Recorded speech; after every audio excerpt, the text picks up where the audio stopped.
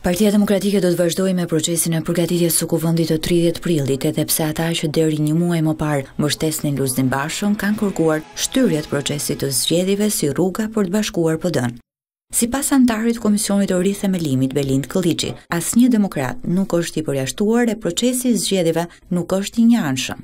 Pikërisht për të bërë një analizë konkrete, për të për t'i dhënë kohë të gjithëve që të ulin tensionet, të gjejnë rrugë të përbashkëta me njëri-tjetrin, sepse qëllimi i përbashkët, sigurisht po e them edhe një herë, është rrëzimi i kësaj qeverie, Kuvendi Kombëtar u vendos të shtyhet në datë tridhjetë prill dhe ka patur mjaftueshëm kohë dhe ka mjaftueshëm kohë Çdo deputet, anëtar kryesie, anëtar këshilli kombëtar, drejtues dege, drejtues grup seksioni, funksionar i PD-së që të gjejë gjuhën me demokratët. Këlliçi ka theksuar se çdo deputet i PD-së, pavarësisht se çfarë mendon në raport me Berishën apo Bashën, është i ftuar në Kuvendin e tridhjetë prillit.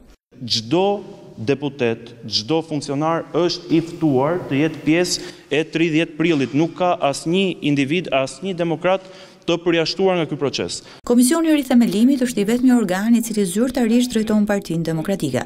Por ende nuk është vendosur nëse pas tridhjetë prillit, kur mandati i këtij komisioni përfundon, a do të ketë PD një kryetar të ri apo do të vazhdojë me drejtim kolegjial.